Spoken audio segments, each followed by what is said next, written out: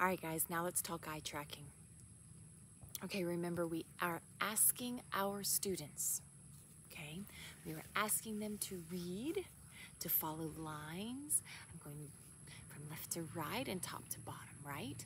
But then we're asking them to look at things, but then they can't even keep their finger on an object long enough because they might look like this, they might do like this. Right?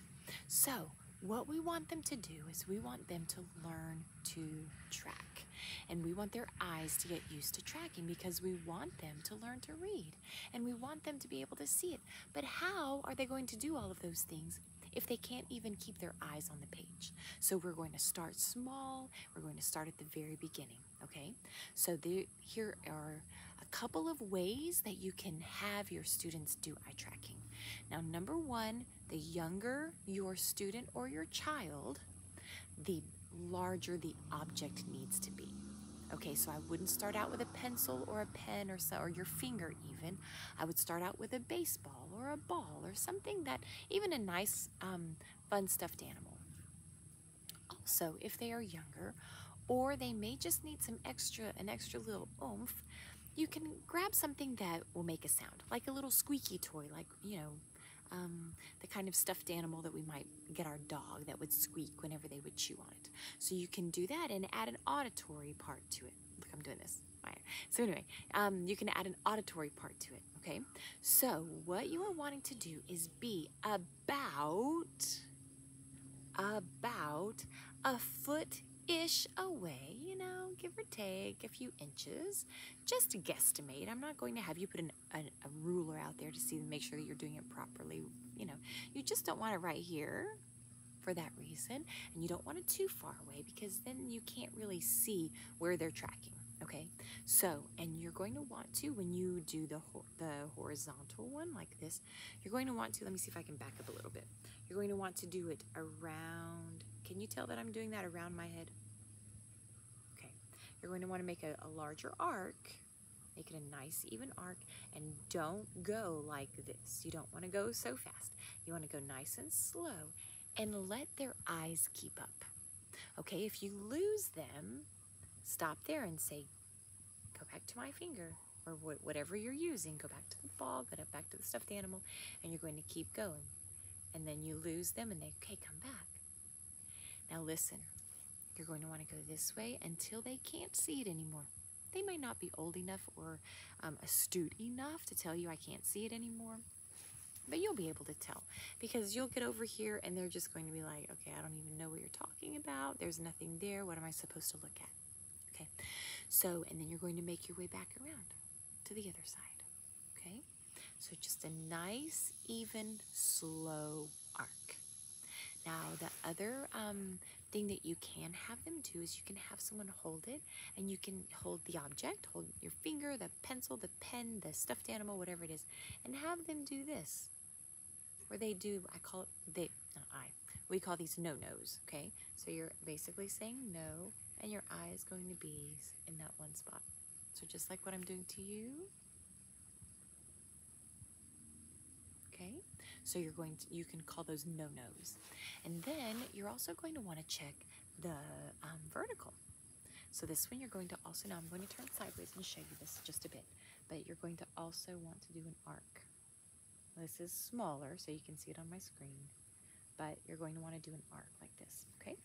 So, um, and this one is going to be the same. They're going to follow it up until they lose it and down until they lose it, okay? And you're same distance away, all of the things. Slow, when they lose it, then you, you say you stop there and you get them back. What are you looking for? What are you training for? Let's talk about that just real briefly. So number one, you're looking, you are looking to make sure that they can track your finger, that they can track your, the object, whatever it is, okay? So you're looking for that. So number one, you want to make sure that their eyes can follow where you're going, can go in a nice straight line, um, can go move from left to right, top to bottom, okay? You want that. Now listen, even in adults, it's always fun to go grab a coworker or um, your spouse or just a friend, um, and practice eye tracking with them first before you start doing it with young kids because even our adult eyes have some issues. Okay, so um, you may start going here, and one of your friends may be watching, and it's going to give a little stutter. Like you're going to see their eyes shake a little bit, and then, and it might go this way, might be better than this way. Like when you go to turn back this way, they might start, their eye might start stuttering. Um, you will see them lose their way, all kinds of fun things. Just then you will know that they need to do some eye tracking. Maybe their eyes get tired whenever they're um, looking at screens or computers or reading. Um, anyway, I say um a lot, don't I? Okay, same with going up and down. So you were looking for that. You were looking for just little eye stutters. You were looking for the ability to go smoothly and follow you. Now, of course, if you are doing it in a classroom of older students and you want to do it by them and you want them to do their their own eye tracking, that is beautiful, possible, but it is always best for you to do some form of it first. Okay, so you get some form of idea of who's having problems with it. Does that make sense? That way, um, you have just a little um, anecdotal note or something. Hey, whenever I, when I did um, horizontal, April's eye stuttered when I went to the right side. I mean, just a little blurb. I'm put the date okay?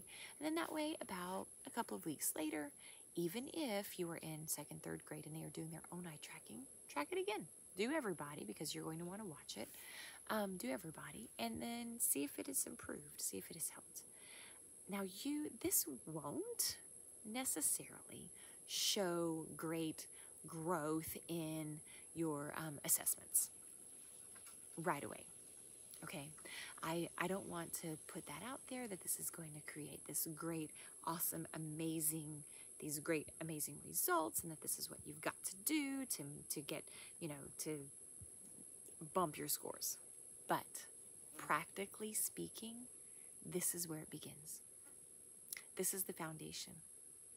If your eyes do not move properly from left to right and top to bottom, they will tire out they will not be able to stay where they are supposed to stay for any amount of time. So, this is just good practice. This is kind of like the fundamentals of basketball or any other sport. You're not really going to see them do all those things that they do during practice when they are out playing the game. You're going to see pieces of it where it's perfected and where it comes with some good motor memory, right? Have this, I have this run here, right here.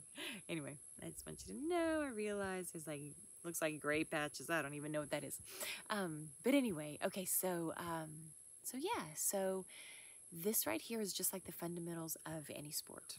Okay, you will see their eyes moving up and down and back and forth and side to side, but it's not necessarily going to help your scores all by itself.